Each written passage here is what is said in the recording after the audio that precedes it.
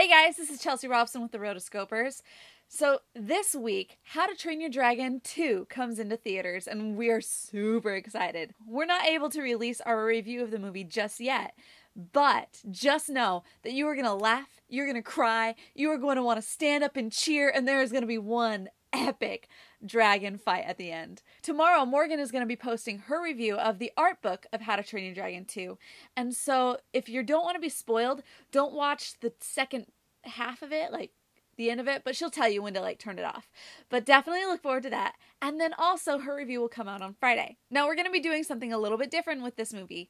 We want to know what your guys' reactions were. If you're going to go see it, make sure afterward take like a you know, a selfie video of yourself telling us your reaction. I mean, be honest about things. Don't be like, oh, it's awesome. Ooh. Or, oh, it was so horrible. But seriously, be honest about it because we're going to be posting an audience reaction video to follow all of these animated movies that comes out.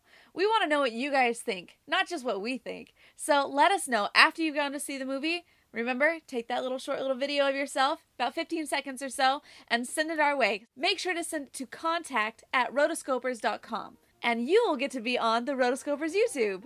Yay! Hope you guys enjoy your week. Until next time, my name is Chelsea Robson, and you are watching the Rotoscopers YouTube. So, the Rotoscopers YouTube is definitely a place where you want to be. So, if you haven't already subscribed, make sure to click this button right here. That's going to make sure that you are up to date in all the news and reviews of the animation world. Also, if you want to watch Morgan's review of the art book of How to Train Your Dragon 2, you can click this button right here. The community is growing, so make sure that you are a part of it. Head on up to rotoscopers.com and you'll be all in the.